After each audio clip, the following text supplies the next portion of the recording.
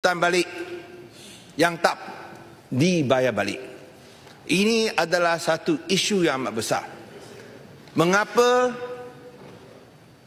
tuntutan GST tidak dibayar balik dalam dua minggu seperti yang ditetapkan di bawah undang-undang tetapi sampai dua tahun tak dibayar balik?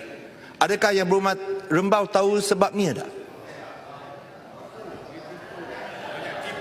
Sila. Saya merujuk kepada pertanyaan saya kepada bekas Menteri Kewangan kedua. Dan di sini, saya nak yang berhormat jelaskan sepenuhnya tentang pembayaran balik klaim input tax yang tidak dijelaskan oleh kerajaan dengan pegawai-pegawai yang ada di belakang sana. Sekiranya mengikut undang-undang tak bayar balik selepas 14 hari, maka kerajaan pada pihak yang salah. Tetapi ada banyak kes yang saya difahamkan 7-8 bilion setiap tahun adalah disebabkan pertikaian. Pertikaian daripada pihak custom sendiri yang tidak mahu bayar balik klaim tersebut. Sebab mereka pertikaikan kesahihan tuntutan itu sebagai input tax. Itu disahkan oleh Menteri Kewangan kedua bekas yang menyatakan bahawa this is normal. Ya?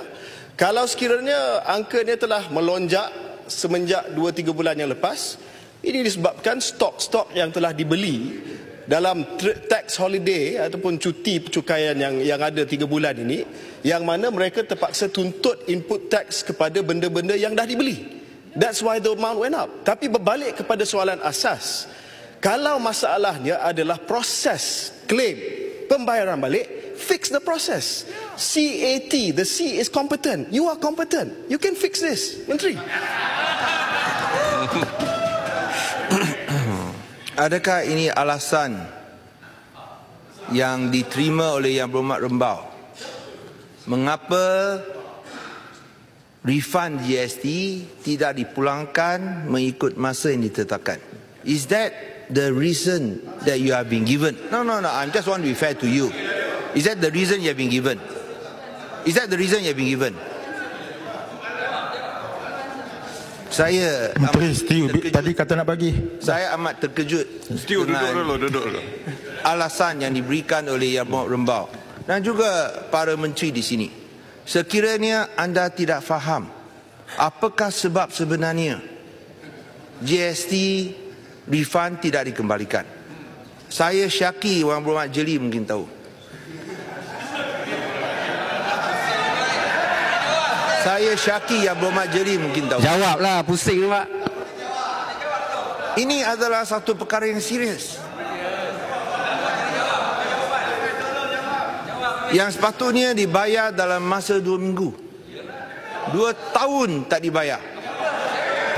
Kerana wang yang dibayar sebagai pendahuluan advance tidak dimasuk dalam akaun amanah tapi dimasuk dalam consolidated fund sebagai revenue dan kerana dianggap sebagai hasil telah digunakan oleh kerajaan dahulu terlebih dahulu. Itulah sebabnya bila yang berhormat sebut hendak merombak GST saya nak sebut di sini bukan merombak GST merompak di refund GST adalah satu perompakan yang serius di mana wang yang sepatutnya berada dalam akaun amanah tidak ada dalam akaun amanah. Yang Bapak Menteri. Macam mana kerajaan yang sekarang Bapak boleh bayar yang kalau Bapak tidak ada dalam akaun amanah? Datuk yang berputus. Yang hormat.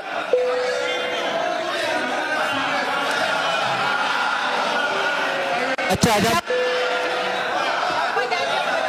Baca jawapan tu. Jawapan dah sampai tu. Baca baca jawapan. Saya jawapan dah sampai baca. sama yang berhormat rembau.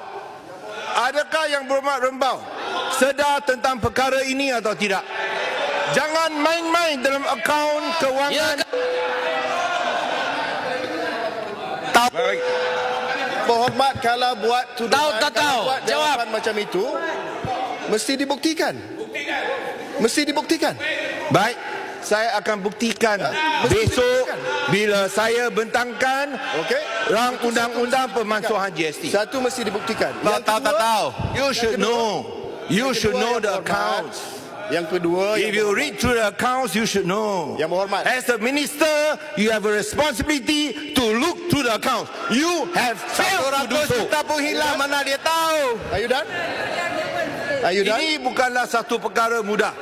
Itu bukanlah sebab se, se, satu perkara seberangan. Are you finished? This is the collective responsibility of this previous Barisan Nasional Cabinet. Ah, 100 juta mana pergi? Wang refund GST telah dirompak oleh kerajaan Barisan Nasional dulu. Are you finished? Minta maaf kepada rakyat. You can make all the political No, statements tomorrow, that you want. Are you finished? Tomorrow you will get, you you will get the facts. Okay. Duduk dulu, duduk dulu. Besok tak apa. Duduk dulu. Besok Duduk. Baik bagi menteri peluang untuk menjawab dulu. Sit down, sit down. be fair. Ini hak saya. Saya minta yang berumah rembau duduk dulu. Itu saja.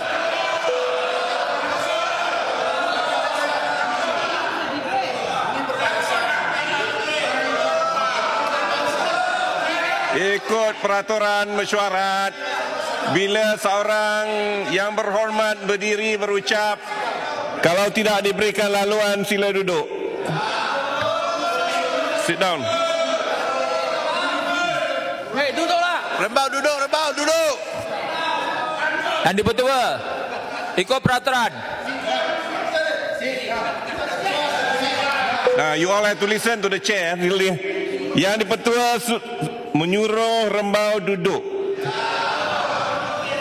Ya. Masih Datuk Yang Betul. Eh, Itulah Menteri. sebabnya Dah. Datuk Yang Betul. Setuju pula, kita Menteri. sebut tentang SST. Setuju pula Menteri. Kerana ia adalah cukai nanti saya habis ini saya bagi. Saya habis ini dulu. Ni yang berkait dengan Kerana LST ni. cukai ini adalah SST adalah cukai seperingkat. Tidak ada perlunya input tax untuk meminta refund dibuat. Berbanding dengan GST yang merupakan multi stage tax system.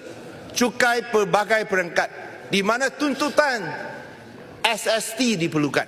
Uh, tuntutan GST diperlukan. Sehingga mereka tak boleh tuntut balik.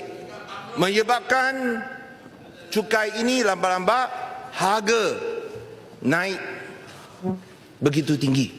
Kerana pihak pengirang, pihak pembayar cukai tak boleh dapat refund mereka. Dua tahun. Kalau dua tahun tak boleh dapat balik, tentu ada satu masalah yang lebih besar daripada pertikaian tentang jumlah yang patut dibayar. Tapi ini tidak diambil badi, ambil peduli oleh kerajaan Barisan Nasional dulu. Dan itulah sebabnya supaya kita ada satu sistem percukaian satu peringkat yang saya rasa lebih mudah, lebih jelas supaya masalah tuntutan tak dibayar balik tidak akan timbul lagi.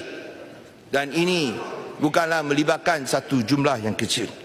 Dan yang betul, saya berasa sangat kesal bahawa dalam usaha untuk memainkan politik, pihak pembangkang sedia korbankan kestabilan dan kekukuhan kewangan negara kita. Pihak pembangkang tahu bila eh, bila GST dimasukkan, kita perlu ada satu gantian. Tanpa gantian, negara kita akan hadapi defisit dalam baki semasa. Adakah ini tidak diambil berat oleh pihak pembangkang? Dan secara membuta tuli bangkang demi bangkang saja. Saya rasa ini bukanlah satu sikap yang bertanggungjawab sebagai sebuah parti pembangkang. You yang boleh Penjelasan kita Dan penjelasan. saya kami tu tepati janji. Okey, terima kasih Menteri.